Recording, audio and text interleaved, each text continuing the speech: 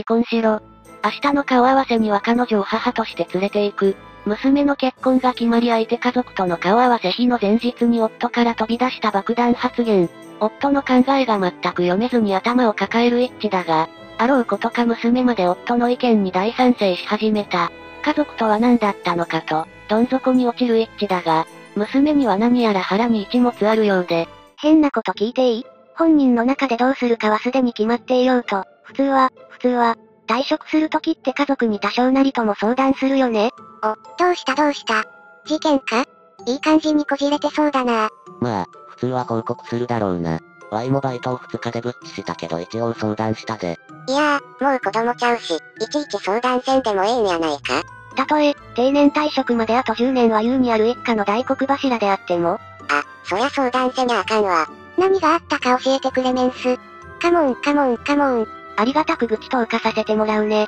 うちの夫、今日、いつも通り仕事から帰ってきたんだけど、花束持ってたんだ。お帰りなさい。あら、あなたが花束なんて珍しいじゃない。どうしたの？そしたら夫、晴れやかな笑みで悪びれもなく言ったんだ。そう別にって花くれたんだ。なんせ、今日が最終出勤日だったからね。それ聞いた瞬間、何かの聞き間違いだと思って固まったよね。最終出勤日って何？ど、どういうこと？どうもこうも。今日で会社辞めたんだよ。だから、みんなから花束もらったの。状況を飲み込みきれない私にムッとした夫は私に花束を押し付けて、さっさと、シャワーを浴びに風呂場に行ってしまった。頭の中がなんで？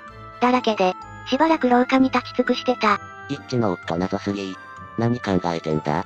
今流行りの早期退職で退職金たんまりもらって田舎でセカンドライフ希望か？退職金がたんまりもらえるならいいんだけど、夫の会社は超零細企業で安月給。夫は営業担当だけど、そんなに仕事ができるタイプじゃないから役職とかにも、ついてない。だから退職金はもらえるけどそんなに夢を描けるような額じゃないよ。ええー、それって家族にも旦那自身にもメリットなくない？私も夕食の席で退職金の話とかを聞いて全く同じ感想を持って質問したの。会社を辞めて、これからの生活はどうやっていくつもり？次の仕事は？そしたら、夫、意味ありげな顔して。ま、羽ばたく前の準備かな？にやり。って、にやり、じゃねえ一致が怒った。お怒りじゃ。静まりたまえ、静まりたまえ、静まりたまえ。まったく、ただでさえ、娘の婚約者のご家族と顔合わせが近いってのに、余計な頭痛の種まかないでほしいよ。まあ、幸いにも、私は資格必須の仕事についていて夫より給料高いから、すぐに生活が困窮することはないけどまさかこのまま無職なんてないよね。突如退職した夫への疑念が消えないまま一致はモヤモヤの日々を送った。そして、明日はついに娘の婚約者の家族と顔合わせとなった夜に事件は起こった。この前勝手に会社を辞めた夫のことで愚痴を聞いてもらってた一致だけど、また夫がとんでもないことやらかした。っていうか、マジ人として最低。なんだなんだ。一致が今夜も荒ぶってられるぞ。人として最低って仮にでもあんたが選んだ伴侶やろ。どうどう。落ち着いて。一体何があったんや。この前相談した時にちらっと話したけど私と夫には20代前半の娘がいるの。我が娘ながらしっかり者で、高校卒業して希望する業界にサクッと就職して、今は一人暮らししながら頑張ってる。そんな自慢の娘が晴れて、彼氏と婚約。明日は大事な両家顔合わせの日なんだ。だから、いつもより仕事を早上がりして、家に帰ったら、玄関に娘の靴と夫の靴と、見知らぬヒールがあった。最初は娘が持ってきたのかと思ったけど、娘のにしては可愛すぎる。おかしい。と思いながらもリビングに入ったらびっくり。お母さん、お帰りなさい。今日もお疲れ様。リビングには相変わらず元気そうな娘と夫。そしてその隣に見知らぬ女性がいた。どなた？娘子の友達？夫の隣に座ってる時点で絶対に違うんだろうけど、一応尋ねる。夫、ドヤ顔して。一致、そんなわけないだろ。本当に鈍いな。彼女は俺の新しい嫁さんだよ。は？夫の言う新しい嫁さんはどう見ても娘の先輩って言った方が自然な年だろう。ひよこのおっさん何言ってるぴよ？角明晰、容姿端麗、自宅警備の Y の H をもってしてもわからんぴよ。私も夫が何を言ってるのかわからなくて、聞き返すことしかできなかった。な、何言ってるの？意味わからない。だから、俺の新しい嫁さん。お前はもう用済みの嫁ってこと。わかった？はあ？意味がわからない。どういうこと？怒りのあまり怒鳴る私を見て夫とその若い女の子はクスクス笑ってる。元奥さん、残念でした。こんなイケメンな旦那さん放置する方が悪いんですよ。と挑発してくる自称新しい嫁。確かになんとか48にいそうな顔だけど、可愛いからって免罪符にはならない。どこで出会ったのかは知らないし、彼女が何者かも知らないけど、私に隠れて浮気してたってこと？浮気とは失礼だな。俺は会社の近くの焼き鳥屋で真実の愛と出会ったんだよ。聞いてもない夫と浮気相手以下、パルルって呼ぶね、の慣れ初めをまとめるとこうだ。焼き鳥屋で一人飲んでる夫にパルルの方から声をかけてきて相席した。パルルは夫の顔に一目惚れしたとのこと。ここで誤解してほしくないけど、夫はそこまでイケメンじゃない。 EXILE にいなくもない？くらいの顔。ただ昔から女性のおだてに弱かった夫は以前よりかっこいいとちやほやされることが減り、面白くなかったらしい。そんな時に若くて可愛いパルルに褒められウハウハに、そしてあれよあれよという間に不倫関係になったとのこと。投下しててなんでこんなバカと結婚したんだって絶望しちゃった。ってわけで、明日の娘の顔合わせはパルルと一緒に出るから。ババア、違う、おばさまはお家で待機していてくださいねはああんた本当にどういうつもり？大事な一人娘の顔合わせなのに、不倫相手を妻と偽って連れて行く勇気にドン引き。向こうの家は、父親は今流行りの妖怪の社長で、いわゆる超セレブなんだろ？そんな人と会うのに新規臭いお前がいたら向こうの家族に俺が馬鹿にされる。それに娘も若くて綺麗なお母さんの方が鼻が高いだろ。確かに私ももう40そこそこのおばさんだけど、高校時代の同級生の夫とずっと、友達みたいな夫婦として、信頼し合ってここまでやってきたと思っていた。でもそれは私だけだったんだと知ってしまい泣きそうになった。悔しくて絶対にパルルを娘の顔合わせに連れて行かせないと思って、娘に、むちゃくちゃなこと言わないで。娘子だってこんな見知らぬ女を、大切な顔合わせに同席させるのは嫌でしょう？と聞いたら、娘はずっとニコニコしながら首を横に振った。嫌じゃないよ。お父さんが本当に好きな相手ならいいよ。未来の新しいお母さんになるかもしれないし同席してよ。どうせ私は結婚して私の家庭を持つんだし、お父さんがどんな未来を選ぼうが気にしないよ。娘にも選ばれなかった私の気持ちはさらにどん底に。悲しくて悲しくて退席して自分の部屋にこもってる。夫の浮気発覚と同時に娘にも裏切られ失意のどん底に落ちる一致。しかし、娘にはある考えがあるようだ。次の日一致から再度書き込みがあった。昨日は本当に死ぬことも考えたけど、娘の真意を知って思いとどまったよ。娘さんは謝ってくれたのか？それがね。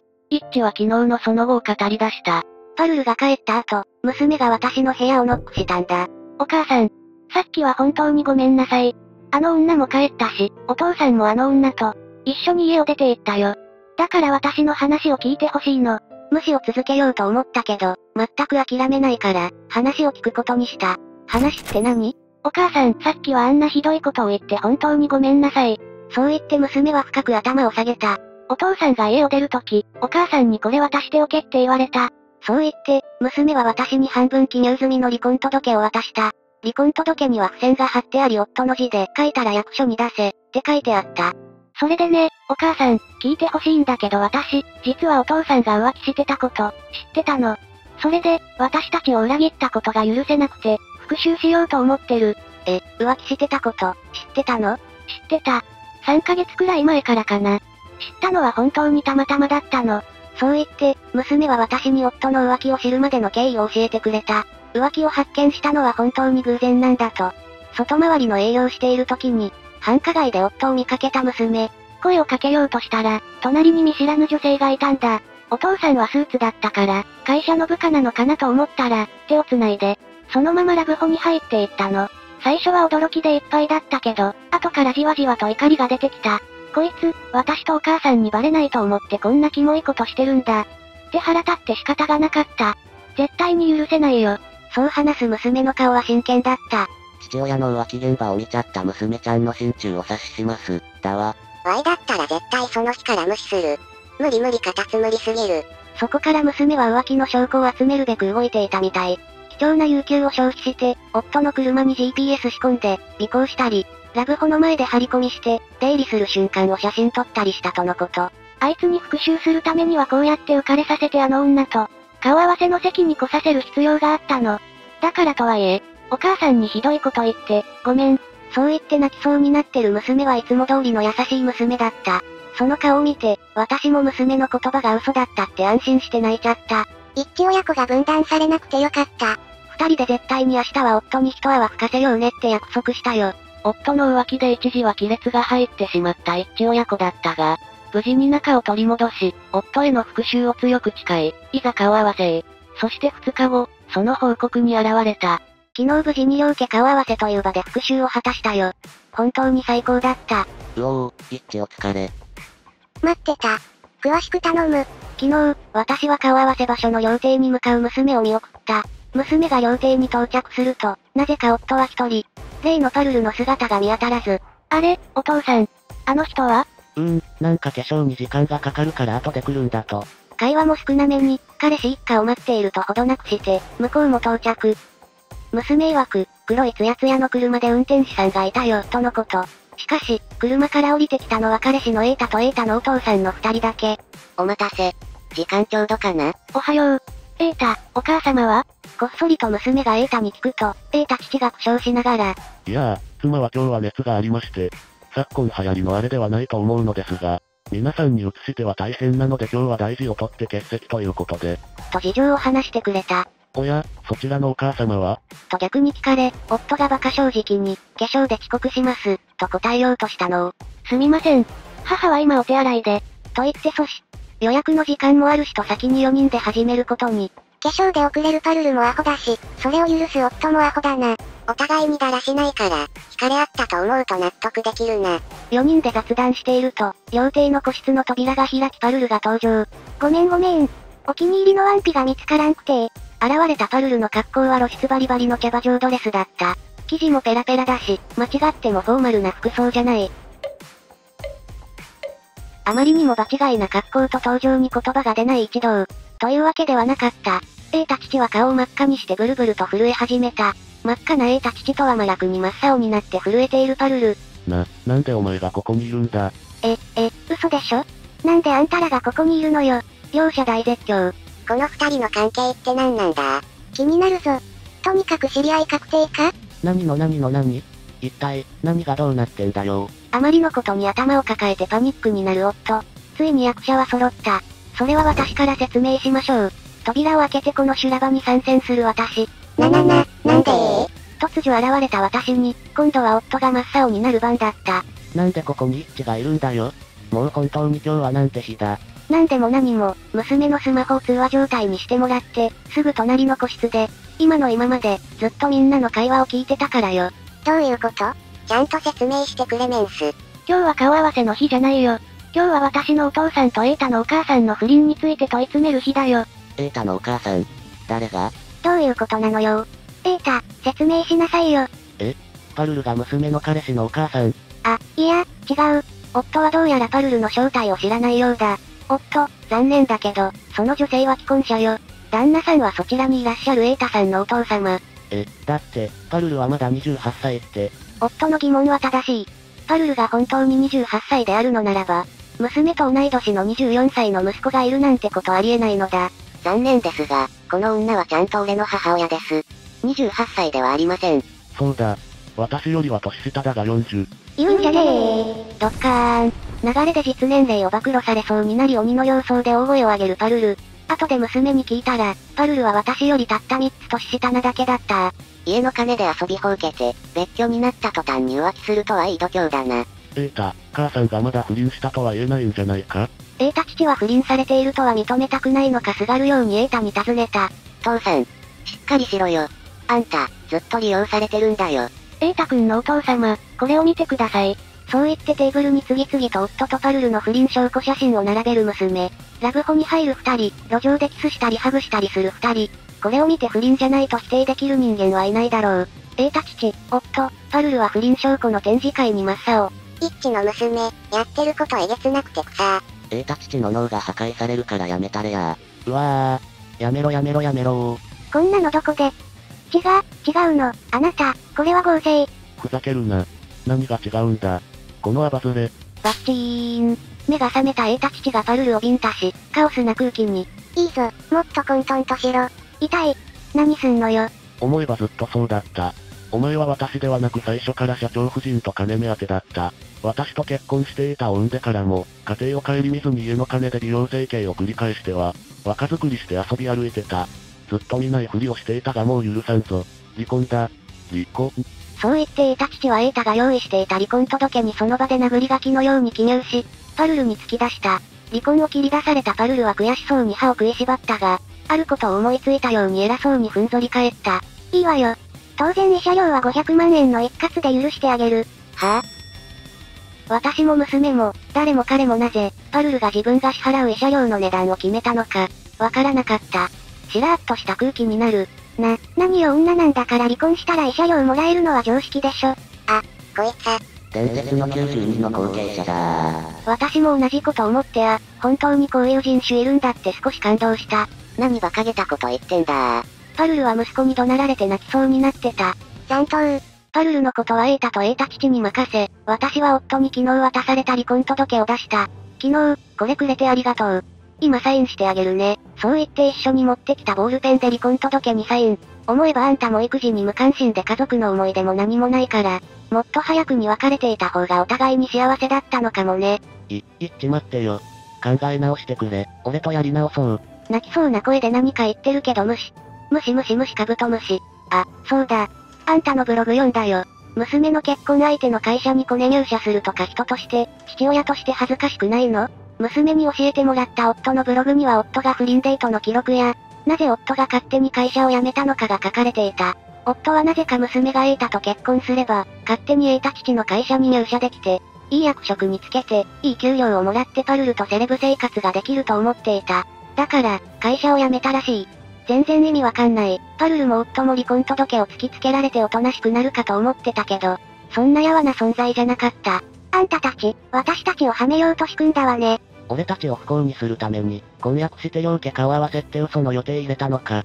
随分と手が込んだ嫌がらせだな。俺たちと違ってお前らカップルには愛がない。元気なことに、自分たちカップル上げ、娘いたカップル下げを始めた。不倫したお前たちに何がわかるんだ。俺と娘子はちゃんと愛し合ってる。じゃあ、どこでお前たちは知り合って、付き合い始めたんだよ。確かに、俺と娘子が出会ったきっかけはクズのお前たちがきっかけだ。エータは娘との馴れ初めを語り始めた。俺は物心ついた時から、あんたに育児放棄されてたのは気づいてた。いっつも、ベビーシッターとかハウスキーパーが面倒見てくれた。学校行事も来てくれないし、誕生日のお祝いをしてくれるのは親父だけだった。中学生の頃はグレたりしたけど、グレたところであんたが母親としての、役割をしてくれることはなかったもんな。グレても意味がなかった。という彼の言葉を聞いて、その絶望感や悲しみを、想像して泣きそうになった。娘も中学生の頃に強めの反抗期が来たけど夫は逃げるように出張に行きまくっていた。だから、私一人で向き合い続けたけどあの時、娘を見捨てなくてよかったと思った。高校から大学までは寮があるところに入ったし俺が新卒で親父の会社に入った時に、親父はあんたからクレジットカードを取り上げて、別居が始まったから、俺の精神は随分平和になったけどな。でも、3ヶ月前くらいに、会社の近くの繁華街であんたが男連れてフラフラしてるのを、見かけたんだ。何してるんだと思って興味本位で尾行してみたら、あんたは別居状態なのをいいことに俺と父さんのことを隠して、そこの男と楽しく不倫してるじゃねえか。俺はこれをあんたをさらに底辺に落とす復讐のチャンスだと思った。早速探偵を雇ってあんたの不倫相手であるそこの男を調べたわけだよ。そしたら、男には妻も娘もいるじゃないか。どうせなら男側も一緒に落ちてもらおうと思って、俺はその男の娘である、娘子に近づいたんだよ。やっぱろくな母親じゃなかったせいでエータもだいぶこじらせてるな。そりゃそうだよ。ワイかてマッマがいつまでも女だったら嫌だよ。幸い娘子の勤め先はいい取引先にもなりそうだったから、父さんを説得して、娘子の会社を新しい取引先に選んだ。仕事を通して担当者の娘子と顔見知りになって、俺はいろいろ娘子から父親のことを聞き出そうとした。でも、娘子はしっかり者でプライベートのことは俺に気安く話さなかったし、それどころか、ずっと礼儀正しく仕事の相手として一線引いて俺と接した。俺は誰がどんな態度で来ても公私混同しない娘子の真面目さに心惹かれたよ。エータ、私は仕事に一途に打ち込める娘の態度が誰かに好感を与えたことを誇らしく思った。それからは俺は仕事をするときは娘子みたいにきちんと向き合おうって、前向きな気持ちで復讐のことは忘れて取り組むことができた。エータも真面目に来るようになってから私も信頼できる人だって思えたよ。復讐のために近づいた男に健全な心を取り戻させるなんていい話だ。ちゃんと働くようになって娘子とも本当に仲良くなれた。プライベートでも会って飲みに行くようになった。そこで俺は娘子から、父親が不倫してるかもしれない。調べたいけど本当だったら怖い。って相談されて、そもそも娘子には娘子の父親目的で近づいたんだって思い出した。これは娘子に不誠実だと思って、俺は全部打ち明けた。君の父親の不倫相手は俺の母親なんだ。実は母の不倫相手の家族について知りたくて、君に近づいた。けど、いつの間にか本気で君のことを好きになってた。フェアじゃないかもしれないけど、交際してほしい。ダメ元で告白したけど、娘子に OK もらえて嬉しかった。その後、二人で話し合って、区切りをつけるために今日の場をセッティングしたんだ。ドラマみたいな話だな。頑張って蹴りをつけてやれ。ワイたちはエータの味方だ。私もエータと娘を心の底から応援しようと思った。俺と娘子の将来のために、お前たちは二度と俺たちに近づかないと言え。そう約束を求めるエータだったが、残念ながらバカ二人はそれで、反省するような人間ではない。よくも騙したわね。何がけじめよ。母親として二人の交際なんて認めないから。そうだ。俺も認めないぞ。俺たちは心に傷を負った被害者だ。騒ぎ立てる二人を見て私はなんて意地汚いカスなんだと思った。さすがのエータも二人はまともではないと思ったのかため息をついて、どこかに電話した。しばらくすると料亭のスタッフたちが現れ、夫とパルルは無理やり引きずられていった。なんなのよ。こいつらは。こんなことして許されると思うな。覚えてろよ。って最後の最後まで叫んでいたのが印象的だった。とりあえず、これで一件落着、かな？綺麗な決着とはならない展開だったが無事に離婚にたどり着けた両家。すべて綺麗に生産し、これで晴れていたと娘は結婚とはならなかった。1ヶ月後、一致が再びスレに現れた。夫を娘の婚約者の家族との顔合わせって嘘ついて離婚した一致なんだけど、私の元にもついにロミオメールが来るようになってしまった。うおー。来たぞ。ロミオメール愛好かわいい。正座する。キモいからさらさせて。以下、原文ママ。かわいい大好きなエッチー。寂しがり屋なエッチはあれから元気かな俺はエッチと娘がいない乾燥した毎日を送っているよ。え？あの女？俺たちの中を引き裂いた悪魔は霞のように消えてしまったよ。二人に会いたい。夢にキラキラしてた時の思い出が出てくるんだ。あの星と一緒だね。キラキラの星の下で待ってるよ。夫より。霞って有村じゃなくて、霞ってことか？多分ごじったんだと思う。ああ、書き写してるだけでも辛かった。キラキラした思い出が夢に出るって言うけど、私にも娘にも家族3人の、いい思い出なんてどこにもない。なんせあいつは娘のピアノの発表会の時に、遅れてきた上に泥酔していてスタッフに追い出されたやつだし。一致、そんなやからとこの間までよう夫婦で入れたな。今となっては本当にそう思うよ。もっとロミオメールをくれ。ワイにキラキラのロミオを見せてくれ。じゃあ、これもさらそうかな。件名。緊急連絡。これを見たら5秒以内に必ず返信すること。5秒過ぎたぞ。罰としてエッチは俺に手作り弁当を持って、会いに来ること。もちろん、娘に手作りクッキーを作らせること。じゃあ、あの場所で待ってるぜ。チュ。チュー、私も娘もあの場所がどこのことを言ってるのか見当つかない。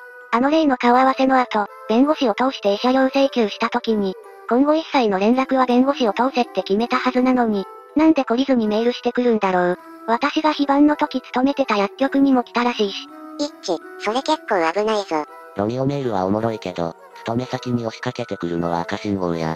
そうだよね娘のこともあるし、上司と警察には相談しておこうかな。そう言って一致はひよこ民のアドバイスをもとに、警察に相談。これでやっと元夫から逃げられる。そう思っていた。しかし、時は流れ、半年後、ついに奴が現れた。浮気した元夫を制裁するために、娘と彼氏で嘘の両家顔合わせをやった一致だけど、あの後も娘たちは付き合い続けており、本当に婚約したから、改めて、本当の顔合わせをすることになって、またあの料亭を利用したんだけど、奴が来たよ。ええ一致、大丈夫だったんか？大丈夫大丈夫。こんな感じだったから。昼過ぎ頃に、料亭でいたと得た父と合流。あの時は大変でしたねって、個室に通されるまでのちょっとした隙間の時間で、そんなことを話してたんだ。そしたら、チリンチリンチリン、自転車のベルの音が外から聞こえてきて何事？と思ったの。外で何かトラブルでもあったのかなって、入り口の方を見たら、交差点の向こうから血眼で自転車を漕ぐ元夫が来ていた。ひぃ、その執念が怖すぎて思わず腰を抜かしたよ。いっちー。娘子今行くからな。とかしり滅裂なことを叫びながらそのまま突っ込んできた。だけど、自動ドアに突っ込んできたから、自動ドアが開いて、元夫は自転車ごと入店。緊迫していた空気が一気に吹き飛び、明らかに滑っている空気に。あ、あれ？痛くない。なんで？あれ？元夫はガラス扉に映画さながらに突入したつもりだったのか、何も起きてないことに驚いていた。次第に恥ずかしくなったのか顔が真っ赤に。ま、間違えちゃった。とか一人でもじもじしていると、料亭の男性スタッフたちに取り囲まれてしまった。うちに何の用ですか？あ、いや、えっと、おじさんさ、店に自転車で乗り込んだらいけないことくらいわかるよね。えっと、これには訳があって、怖い男性スタッフたちに取り囲まれ元夫は涙目になっていた。おじさん、なんか悪いことするつもりじゃないよね。警察呼ぶよ。苛立った男性スタッフに圧をかけられた元夫はなぜかいそいそと前かごの黒いカバンからカッターナイフを取り出し、それを男性スタッフの前にさっと差し出して平謝りし始めた。どうもすいませんでした。刺そうとは思ってないんです。脅せればよくて。ご、ご、強盗だ。警察を呼べー。元夫としては男性スタッフの圧に負けて白状したつもりだったらしいが、凶器用のカッターナイフを出したことが災いし、本物認定されてしまった。複数の男性スタッフに取り押さえられ、結局、元夫の本来の目的である、私と娘とは一言も話すこともできず、パトカーに連行されていったよ。料亭もその日は臨時休業になってしまい、私は泣く泣く弁護士事務所へ行って、接見禁止命令の手続きをしたよ。一致、娘、ドンマイ。三度目はうまくいくさ。それがその後、エータから電話がかかってきてもういっそ海外でやりましょう。ってことになったの。やっぱセレブはスケールが違うね。海外ならさすがの元夫もついてこれないだろ。行った先にはパルルがいたりして。あははは、ないない。パルルはあの後、元夫の前から消えたのは、本当だけど、エータ父の力でパルルの実家のある孤島に強制送還されたから。じゃあ、安心だ。三度目の顔合わせうまくいきますように。テクマクマヤコン。一致たちに幸せになる呪いをかけました。家族を捨てて見た目だけ若い不倫相手に夢中になった夫は、最後の最後まで愚かでしたね。夫と不倫相手という障害を乗り越えた。一致、そして娘と婚約者のエータには素晴らしい未来が待っているでしょう。今回の動画はいかがだったでしょうか？一致の復習にスカッとできた方は見どころや好きなシーンを、コメントで教えてくださいね。このチャンネルでは、女性の身近に潜む問題をスカッと解決する話を配信しています。スカッとしたい方はチャンネル登録で次の動画もお見逃しなく。